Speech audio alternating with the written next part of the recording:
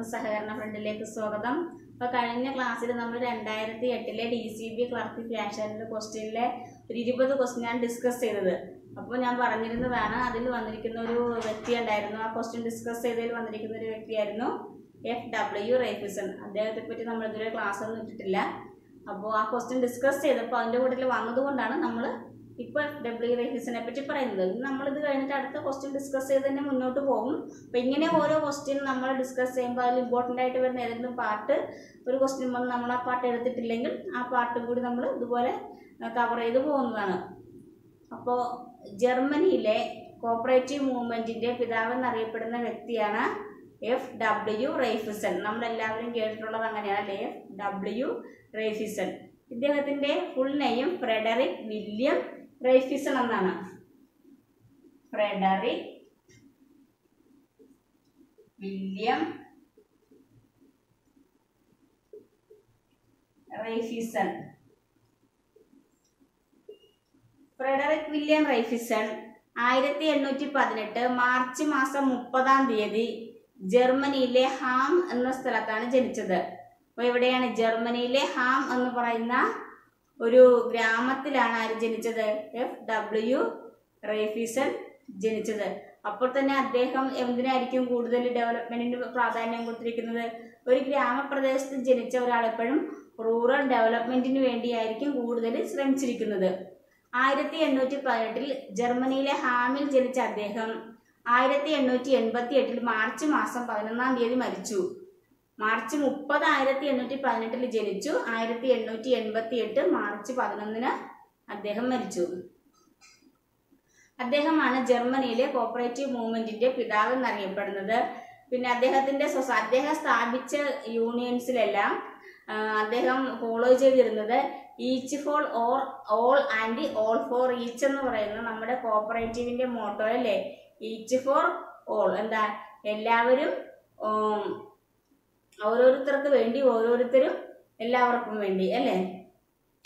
ആ മോട്ടോയാണ് അദ്ദേഹം സ്ഥാപിച്ച എല്ലാ സൊസൈറ്റികളിലും അദ്ദേഹത്തിന്റെ പ്രവർത്തികൾക്കുമൊക്കെ മുന്നോട്ട് നയിച്ചിരുന്നത്. റൈഫീസർ സ്ഥാപിച്ചതെല്ലാം അൺലിമിറ്റഡ് സൊസൈറ്റി ആയിരുന്നു. ഇതിനു മുമ്പ് എക്സാമിന് ചോദിച്ചിട്ടുണ്ട് മറക്കരുത്. റൈഫീസർ സ്ഥാപിച്ച സൊസൈറ്റി എല്ലാം അൺലിമിറ്റഡ് സൊസൈറ്റികളായിരുന്നു ഇദ്ദേഹം ഡിവിഡൻഡ് ഡിസ്ട്രിബ്യൂട്ട് ചെയ്തു കൊടുക്കുന്ന കാര്യത്തിലൊന്നും വിശ്വസിച്ചിരുന്നില്ല. ഇദ്ദേഹത്തിന്റെ സൊസൈറ്റികളിലൊക്കെ ഒരു കാര്യം മനസ്സിലാക്കാൻ എന്താ? ഡിവിഡൻഡ് ഡിസ്ട്രിബ്യൂഷൻ നടന്നിരുന്നില്ല. ജർമ്മനിയിലെ കോപ്പറേറ്റീവ് മൂവ്മെന്റിലെ ലീഡർ എന്നറിയപ്പെടുന്നിരുന്ന എഫ് ഡബ്ല്യു റൈഫിസൺ പിന്നെ എന്തൊക്കെ അറിയപ്പെടുന്ന? Father of cooperative rural bank എന്നറിയപ്പെട്ടിരുന്നു. Father of agricultural credit cooperatives in the world ലോകത്തിലെ അഗ്രികൾച്ചറൽ ക്രെഡിറ്റ് കോപ്പറേറ്റീവ്സ് എന്നറിയപ്പെട്ടിരുന്നു അല്ലെ? അദ്ദേഹത്തിന്റെ ഫാദർ എന്നറിയപ്പെട്ടിരുന്നു. പിന്നെ agricultural credit movement in Germany ജർമ്മനിയിലെ അഗ്രികൾച്ചറൽ ക്രെഡിറ്റ് മൂവ്മെന്റിന്റെ പിതാവ് എന്നറിയപ്പെടുന്നത് എഫ് ഡബ്ല്യു റൈഫിസൺ ആയിരുന്നു. പിന്നെ എന്താ? Father of cooperative rural bank പിന്നെ അപ്പോസ്റ്റിൽ ഓഫ് കോപ്പറേഷൻ അങ്ങനെയൊക്കെ എഫ് ഡബ്ല്യു റൈഫിസൺ അറിയപ്പെട്ടിരുന്നു. അദ്ദേഹം കുറെ ക്രെഡിറ്റ് യൂണിയൻസ് ഒക്കെ സ്ഥാപിച്ചു. പിന്നെ പുവർ പീപ്പിൾസ് കമ്മിറ്റി കുറെ കുറെ പാവപ്പെട്ട പീപ്പിളിന് ജനങ്ങളെയൊക്കെ കൂട്ടിച്ചേർത്തൊരു കമ്മിറ്റി സ്ഥാപിക്കാനും പിന്നീട് ക്രെഡിറ്റ് യൂണിയനൊക്കെ സ്റ്റാർട്ട് ചെയ്തു. അദ്ദേഹം ഒരു പാവപ്പെട്ട വീട് ഒരു കൃഷിക്കാരന്റെ മകനായിട്ടാണ് ജനിച്ചതെങ്കിലും പിന്നീട് അദ്ദേഹം ആരായി? ഒരു മിലിറ്ററി ഓഫീസറൊക്കെ ആയിട്ട്. അങ്ങനെ ആയിരത്തി എണ്ണൂറ്റി അറുപത്തി രണ്ടിൽ ആയിരത്തി എണ്ണൂറ്റി അറുപത്തി രണ്ടിൽ ഇമ്പോർട്ടന്റ് ആണ്. അദ്ദേഹം ഹാർഡ് വർക്ക് കൊണ്ട് ഉയർന്നു വന്നൊരു വ്യക്തിയാണ്. ജർമ്മനിയിലെ ആൻ ഹാൻസെൻ എന്ന സ്ഥലപ്പേര് ആൻ ഹാൻസെൻ എന്ന് പറയുന്ന സ്ഥലത്ത് നിന്നാണ് ആയിരത്തി എണ്ണൂറ്റി അറുപത്തി രണ്ടിൽ ആയിരത്തി എണ്ണൂറ്റി അറുപത്തി രണ്ടിൽ ജർമ്മനിയിലെ ആൻ ഹാൻസൺ എന്ന് പറയുന്ന സ്ഥലത്ത് അദ്ദേഹം ഒരു വില്ലേജ് സൊസൈറ്റി സ്ഥാപിച്ചു. ആയിരത്തി എണ്ണൂറ്റി അറുപത്തിരണ്ടിൽ ജർമ്മനിയിലെ ആൻഹാൻസൺ എന്ന് പറയുന്ന സ്ഥലത്ത് അദ്ദേഹം ഒരു വില്ലേജ് സൊസൈറ്റി സ്ഥാപിച്ചു. അതിനു മുമ്പ് അത് കഴിഞ്ഞിട്ട് ആയിരത്തി എണ്ണൂറ്റി എഴുപത്തി ഏഴിൽ ഈ കോപ്പറേറ്റീവ് റൂറൽ ബാങ്കുകളുണ്ട് റൂറൽ ബാങ്കിന്റെ എല്ലാത്തിന്റെയും കൂടി ഒരു യൂണിയൻ ആയിട്ട് ഒരു കോപ്പറേ റൂറൽ കോപ്പറേറ്റീവ് സൊസൈറ്റികളുടെ എല്ലാം കൂടി ഒരു യൂണിയൻ ആയിട്ട് അദ്ദേഹം സ്ഥാപിച്ചതാണ് റേഫീസൺ യൂണിയൻ ആയിരത്തി എണ്ണൂറ്റി എഴുപത്തി ഏഴിൽ അദ്ദേഹം റൂറൽ ബാങ്കുകളുടെ എല്ലാത്തിന്റെയും കൂടി എന്തായിട്ട് ഒരു സംഘടനയായിട്ട് ഒരു യൂണിയൻ ആയിട്ട് അദ്ദേഹം ആയിരത്തി എണ്ണൂറ്റി എഴുപത്തി ഏഴിൽ റൈഫീസൺ യൂണിയൻ സ്ഥാപിച്ചു. ആയിരത്തി എണ്ണൂറ്റി എഴുപത്തി ഏഴിൽ അദ്ദേഹം എന്ത് സ്ഥാപിച്ചു? Raiffeisen union. അപ്പോ എഫ് ഡബ്ല്യു റേഫീസൺ ആയിരത്തി എണ്ണൂറ്റി എഴുപത്തി ഏഴിൽ റൂറൽ ബാങ്കുകളുടെയൊക്കെ യൂണിയൻ ആയിട്ട് സ്ഥാപിച്ചതാണ് റേഫീസൺ യൂണിയൻ. അതിനു മുമ്പ് ആയിരത്തി എണ്ണൂറ്റി നാൽപ്പത്തി ആറിൽ വിത്തുകളും ധാന്യങ്ങളൊക്കെ സപ്ലൈ ചെയ്യുന്ന ഒരു സൊസൈറ്റി. ആയിരത്തി എണ്ണൂറ്റി നാൽപ്പത്തി ആറിൽ എന്നാണ് ആയിരത്തി എണ്ണൂറ്റി നാൽപ്പത്തി ആറിൽ എന്ത് വിത്തുകളും ധാന്യങ്ങളൊക്കെ പ്രൊവൈഡ് ചെയ്യുന്ന അതൊക്കെ കൊടു കൊടുക്കാൻ സൗകര്യമുള്ളൊരു സൊസൈറ്റി അല്ല? അതൊക്കെ വിതരണം ചെയ്യുന്ന ഒരു സൊസൈറ്റി അതിന്റെ പേരാണ് society for grain and breed supply the society for grain and breed supply അദ്ദേഹം എന്നാണ് ആയിരത്തി എണ്ണൂറ്റി നാൽപ്പത്തി ആറിൽ എഫ് ഡബ്ല്യു റൈഫിസ സ്ഥാപിച്ചു. ആയിരത്തി എണ്ണൂറ്റി നാൽപ്പത്തി ഒമ്പതിൽ ഒരു കാറ്റിൽ പർച്ചേസ് അസോസിയേഷൻ കന്നുകാലികളെയൊക്കെ വിൽക്കാനായിട്ട് വാങ്ങാനായിട്ടുള്ള ഒരു അസോസിയേഷൻ ആയിരത്തി എണ്ണൂറ്റി നാൽപ്പത്തി ഒൻപതിലെ എഫ് ഡബ്ല്യു റൈഫിസൺ സ്ഥാപിച്ചു. അല്ലെ? കാറ്റിൽ പർച്ചേസ് അസോസിയേഷൻ ആയിരത്തി എണ്ണൂറ്റി നാൽപ്പത്തി ഒൻപതിൽ എഫ് എഫ് ഡബ്ല്യു റൈഫിസൺ സ്ഥാപിച്ചു. പിന്നെ സാധാ പൂവർ പീപ്പിൾസിന്റെ ഒക്കെ റൂറൽ പീപ്പിൾസിന്റെയൊക്കെ ചെറിയ ചെറിയ നിക്ഷേപങ്ങളല്ലേ? അവർ കഷ്ടപ്പെട്ട് ജോലി ചെയ്തുണ്ടാക്കുന്ന ചെറിയ ചെറിയ നിക്ഷേപങ്ങളൊക്കെ ഡെപ്പോസിറ്റ് ചെയ്ത് ചെറിയ ഇൻട്രസ്റ്റ് കൊടുക്കുന്ന ഒരു society Heddesdorf beneficent society Heddesdorf beneficent society എന്നും പറഞ്ഞ് ഒരു സൊസൈറ്റി പീപ്പിൾസിന്റെയൊക്കെ ചെറിയ നിക്ഷേപങ്ങളൊക്കെ വാങ്ങി അതെന്ത് ചെയ്തു? അത് അതിന് ഇൻട്രസ്റ്റ് കൊടുത്ത് അല്ല അവരുടെ ഇൻകം വർദ്ധിപ്പിക്കുക എന്നുള്ള ഉദ്ദേശത്തോടു കൂടി ട്രൈഫിസ സ്ഥാപിച്ചാണ് ഹെഡർ സർഫ് ബെനിഫിഷ്യന്റ് സൊസൈറ്റി പിന്നീട് ആ സൊസൈറ്റി അറിയപ്പെടുന്ന പേരാണ് ഹെഡർ സർഫ് ക്രെഡിറ്റ് യൂണിയൻ എന്ന് അല്ലേ ഹെഡർ സർഫ് ബെനിഫിഷ്യന്റ് സൊസൈറ്റി പിന്നീട് ഹെഡർ സർഫ് ഹെഡർ sorry Heddesdorf credit union എന്ന് അറിയപ്പെട്ടു. അപ്പോൾ നമ്മൾ എന്തൊക്കെ എഫ് ഡബ്ല്യു റൈഫീസിനെ പറ്റി പഠിച്ചതെന്നുള്ള കാര്യങ്ങൾ നമുക്ക് നോക്കാം അല്ലേ? എഫ് ഡബ്ല്യു റൈഫിസൺ എവിടെ ജനിച്ചു? ജർമ്മനിയിലെ ഹാമിൽ ആയിരത്തി എണ്ണൂറ്റി പതിനെട്ട് മാർച്ച് മാസം മുപ്പതാം തീയതി ജനിച്ചു. ആയിരത്തി എണ്ണൂറ്റി എൺപത്തി എട്ട് മാർച്ച് മാസം പതിനൊന്നാം തീയതി അദ്ദേഹം മരിച്ചു. ഇതിനിടയ്ക്ക് നമ്മൾ ആരും വിശ്വസിക്കേണ്ട ഒരു കാര്യം.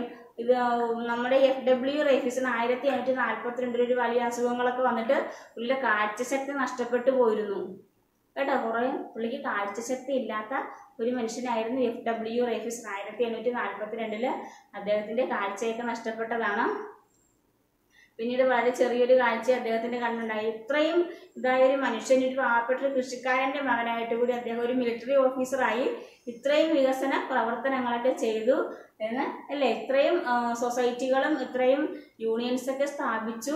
അദ്ദേഹം ഒരു വലിയ മനുഷ്യനായി നമ്മൾ ഫോറിൻ കോർപ്പറേഷൻ പഠിക്കുമ്പോൾ ഇപ്പോൾ നമ്മുടെ കേരളത്തിൽ നമ്മുടെ കൊച്ചു ഗ്രാമങ്ങൾ നമ്മളെല്ലാവരും എഫ് ഡബ്ല്യു എഫീസിനെ പഠിക്കുന്നുണ്ട്. എങ്കിൽ നമുക്ക് എന്തുകൊണ്ടൊരു ടെസ്റ്റ് എഴുതി ജോലി മേടിച്ചുകൂടാ? നമുക്ക് കൈയുണ്ട് കാലുണ്ട് കണ്ണുണ്ട് എല്ലാം ഉണ്ട് പഠിക്കാനുള്ള എല്ലാ സൗകര്യങ്ങളും ഉണ്ട്. നമുക്ക് കൂട്ടത്തിൽ എന്തുകൊണ്ട്? കുറച്ച് മടിയുണ്ട്.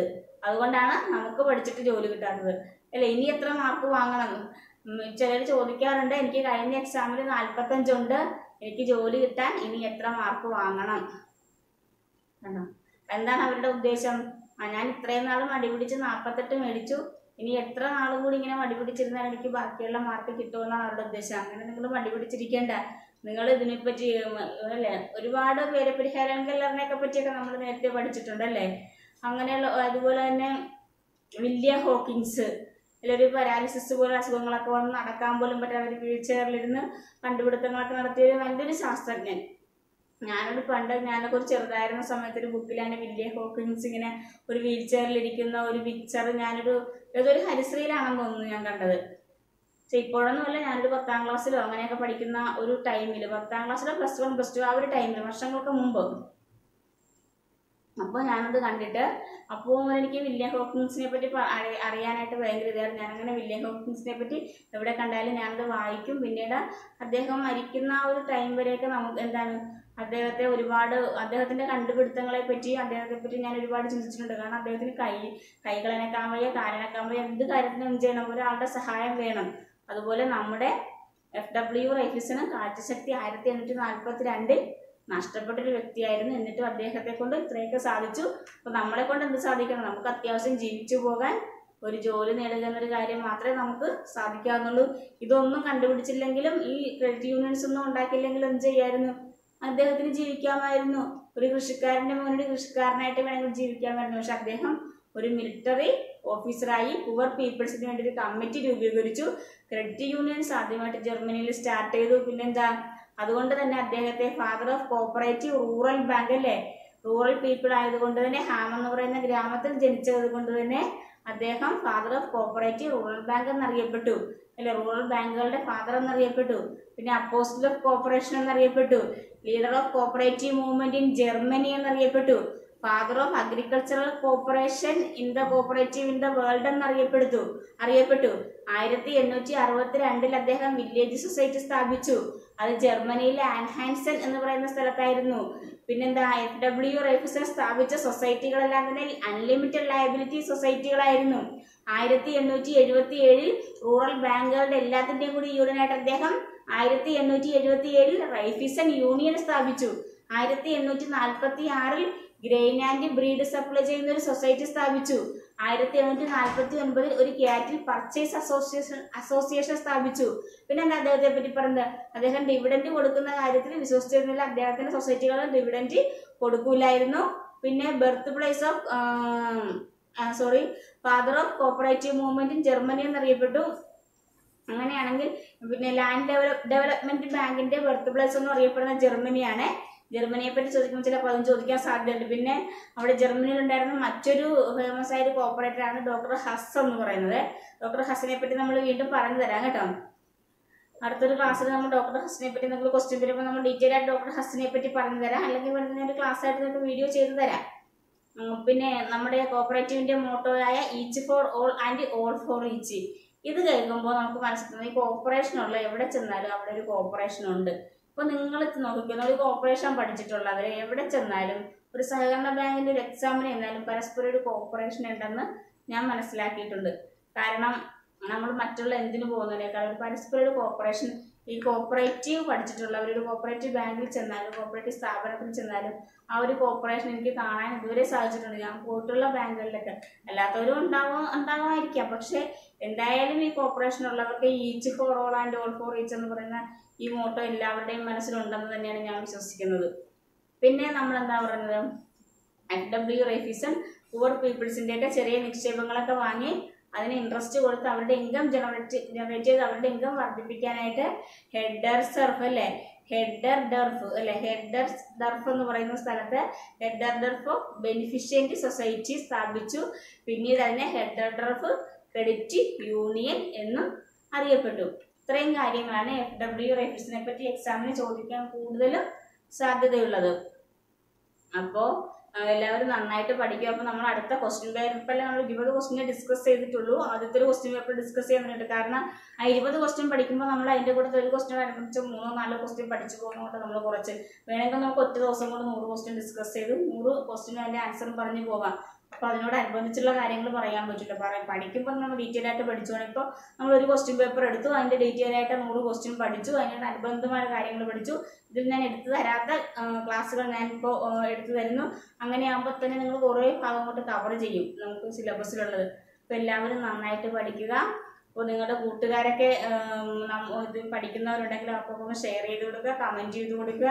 സി എസ് സി ബി എക്സാമിന് വേണ്ടി മാത്രമല്ല ഇനിയിപ്പോൾ അല്ലേ നമ്മുടെ കേരള ബാങ്കിന്റെ എക്സാം ഒക്കെ വരും അപ്പോൾ അതിനൊക്കെ വേണ്ടി പ്രിപ്പയർ ചെയ്യുന്നവർക്കും ഇത് നല്ല ക്ലാസ് നിങ്ങൾക്ക് ഇതൊരു നന്നായിട്ട് ഇത് ഹെൽപ്ഫുള്ളാണ് അതുപോലെ J D C H D C ഇപ്പോൾ ചെയ്തുകൊണ്ടിരിക്കുന്നവർക്ക് പഠിക്കാം.